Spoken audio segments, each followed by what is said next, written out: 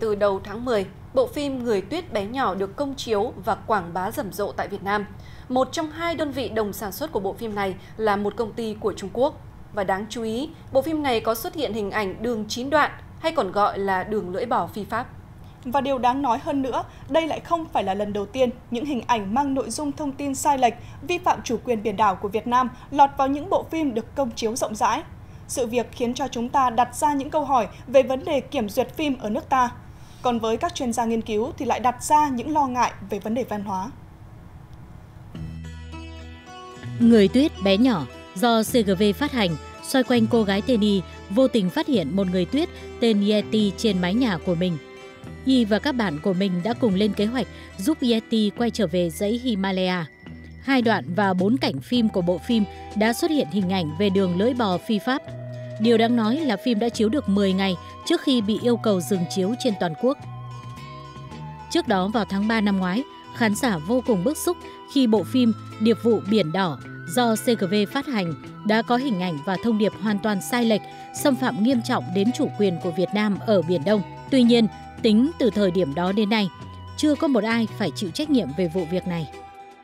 Tôi cho là đấy là một cái việc mà rất là nguy hiểm và ờ, rõ ràng là chúng ta phải tỉnh táo hơn, phải ừ, chú ý đến những việc đó hơn chứ còn nếu mà chúng ta bỏ qua nó mà thì chúng ta sẽ gây ra một ảnh hưởng rất lớn. Đây là lúc chúng ta phải xem xét một cách nghiêm túc. Nghiêm túc trước hết là vì sao nó cứ lọt hết chuyện này đến chuyện kia là vì chúng ta chưa bao giờ xử một cách nghiêm những người chịu trách nhiệm để lọt những cái như thế mà đây tôi phải nói rằng là nó là phương hại đến lợi ích quốc gia đến chủ quyền đất nước. Phim ảnh là một cái con đường uh, phát tán văn hóa rất là ảnh rất là sâu rộng ảnh hưởng sâu rộng. Đặc biệt là trong thời điểm mà về thời gian không gian kỹ thuật số nó xóa nhòa mọi khoảng cách như thế này nó khó mà có một công cụ kiểm duyệt nào để có thể làm được việc đó.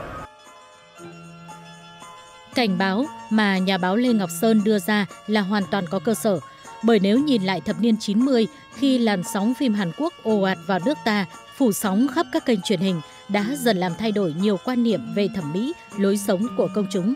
Thời trang Hàn Quốc, rồi mỹ phẩm Hàn Quốc, tất cả đã trở thành chuẩn mực về cái đẹp ở thời điểm đó. Tư duy lại về ờ, cái vai trò của phim ảnh và từ đó khi mà chúng ta tư duy lại được đó cái cái cái vai trò của phim ảnh đối với công chúng và trong các cái lợi ích liên quan ấy, thì khi đó chúng ta mới có được những cái biện pháp hữu hiệu để có thể làm cho hạn chế những cái phim độc hại kiểu như thế này đi vào Việt Nam.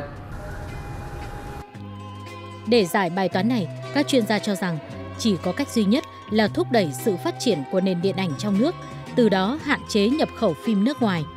Luật điện ảnh hiện nay cũng có quy định về tỷ lệ phim nước ngoài nhập khẩu hàng năm, song vẫn có lỗ hổng. Khi mà tôi làm làm luật điện ảnh ấy, là các ông phải giữ cho kỳ được là ít nhất là 48%, tức là gần năm gần một nửa là phim của Việt Nam.